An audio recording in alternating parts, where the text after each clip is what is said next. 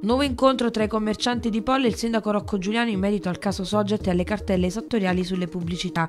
L'incontro si è tenuto nel tardo pomeriggio di ieri nel municipio alla presenza anche di tutti gli altri consiglieri di maggioranza e per l'opposizione di Fortunato D'Arista e Raffaele Cammardella.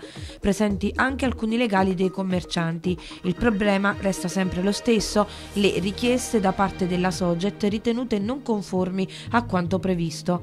All'incontro non ha partecipato alcun rappresentante rappresentante della Soget. Il sindaco Rocco Giuliano ha rassicurato nuovamente i commercianti con la premessa che il suo ruolo di amministratore prevede la tutela dei cittadini, ma anche il dover vigilare sul pagamento delle imposte.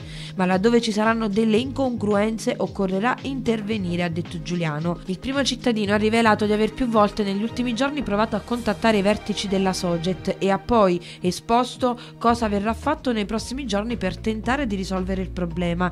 Nelle prossime ore faremo una delibera per sospendere i termini di riscossione delle cartelle esattoriali in questione, dopodiché redigeremo un nuovo regolamento ancora più dettagliato in Consiglio Comunale e alla presenza di una delegazione di commercianti.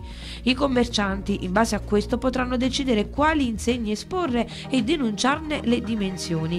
Se la Sogget vorrà effettuare i rilievi, lo rifarà. E poi il sindaco si è occupato delle sanzioni che in concreto hanno fatto lievitare le richieste esattoriali.